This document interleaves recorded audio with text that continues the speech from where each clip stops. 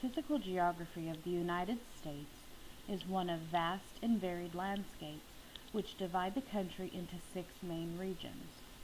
The coastal plains, Appalachian Mountains, interior plains, Rocky Mountains, Intermountains, and Pacific Coast. The dark green portion of the map is the coastal plains region. A coastal plain is defined as an area of flat, low-lying land adjacent to a seacoast and separated from the interior by other features. The southeastern coastal plain of the United States spans more than 2,000 miles, from Massachusetts to the southernmost tip of Texas. It begins by gently sloping towards the sea from the highlands of the interior until it finally reaches the coast. Coastal plains are comprised of sedimentary deposits from inland river currents making their way to the ocean. These deposits over time create a flat, gently sloping landscape. In some areas, such as the Florida Everglades and Louisiana bayous, the interface is below sea level.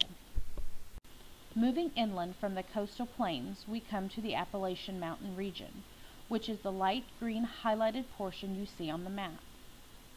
As the oldest mountain region in the U.S., it spans over nine states, from as far north as Maine, all the way to Alabama in the south. West Virginia is a truly unique state because it is the only state that is completely encompassed by this region. The area consists of three physiogeographic regions. The Blue Ridge Mountains, with the highest peak in the area, constitute the eastern region. Central, southern, and eastern Tennessee, as well as the southwest Virginia valleys and their ridges, constitute the central region. And the Appalachian Plateau forms the western region. Settled areas and cultivatable land are scattered along st streams and their basins, coves, and hollows. The brown portion of the map highlights the interior plains region, which covers a vast area, spanning more than a thousand miles from the western border of the Appalachian Mountains to the eastern border of the Rockies. It extends from our northern border with Canada all the way to the Gulf coastal plains in the south. The region is split into two distinct subregions, the Central Plains and the Great Plains.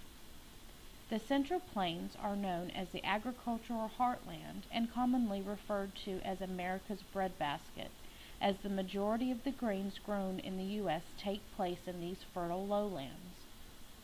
The Great Plains is a semi-arid, treeless plateau which covers parts of 10 states. Averaging less than 20 inches of rainfall each year, the region's climate is that of extremes. Excessive heat and drought in the summer months, as well as having brutal winters. Violent weather plagues the region with damaging hailstorms and devastating tornadoes. In purple, we have the Intermountain region, which is located between the Rocky Mountains to the east and the Pacific coastal ranges to the west.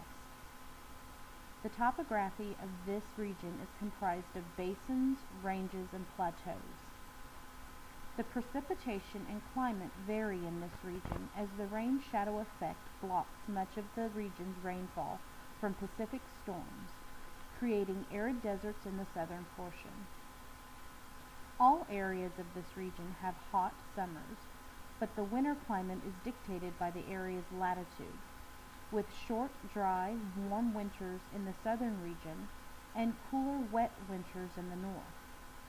Latitude and elevation also dictate the type of vegetation from temperate coniferous forests in the north to arid, arid deserts and shrublands in the south. The final area on our map is the Pacific Coast region in blue, which is made up of mountain ranges and inland valleys. The climate of the region varies and is dictated by the latitude and the west to east airflow of the Pacific Ocean. Precipitation fluctuates from high levels in the northwest, where average rainfall is between 45 and 81 inches annually, and low levels in the south that receive 4.5 to 13.5 inches annually. The continental Pacific Northwest is known for its temperate climate and mild summers and winters. The world's tallest trees are found in this region. The coastal redwoods and Douglas fir are both found in southern Oregon and northwestern California. Some coastal forests are classified as temperate rainforests.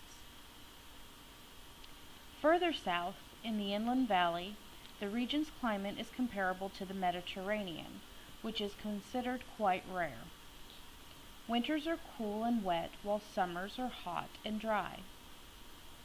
This climate is created by the Pacific High Pressure System, which moves northward during the summer months and southward during the winter.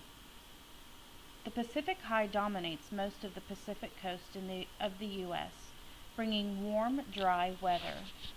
In the winter, the Pacific High moves south, allowing the Pacific, nor Pacific North low pressure storms to migrate southward, bringing rain, snow, and cold.